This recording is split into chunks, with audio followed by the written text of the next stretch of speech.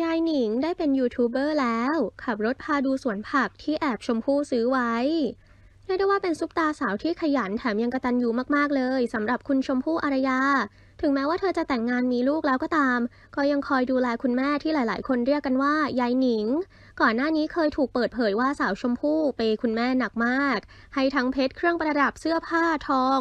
ส่วนเงินเดือนนั้นก็หกหลักเลย ซึ่งคุณแม่ก็ภูมิใจในตัวลูกสาวคนนี้มากๆ ล่าสุดทางด้านยายหนิงรับบทเป็นยูทูบเบอร์แล้ว โดยสาวชมพู่ได้เปิดช่อง YouTube ให้คุณแม่ชื่อว่า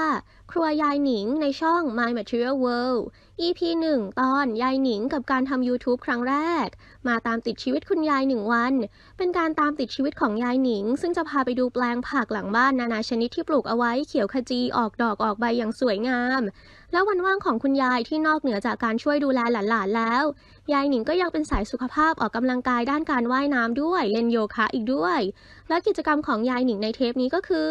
คุณยายอาสาขับรถพาไปดูแปลงผักที่ไม่ใช่ในตัวบ้าน เป็นสวนที่คุณยายได้ซื้อที่ดินเอาไว้ประมาณหนึ่งไร่ แล้วก็พัฒนามาเป็นแปลงผักหลากหลายชนิดนั่นเอง แล้วก็มีบ่อเลี้ยงปลาอีกด้วย แล้วอนาคตยายหนิงก็บอกว่า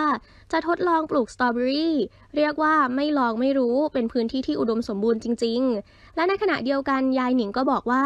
แอบลูกสาวชมพู่เนี่ยซื้อไว้นานแล้ว ลูกสาวเนี่ยไม่ชอบ กลัวคุณแม่ลำบากนั่นเองละค่ะ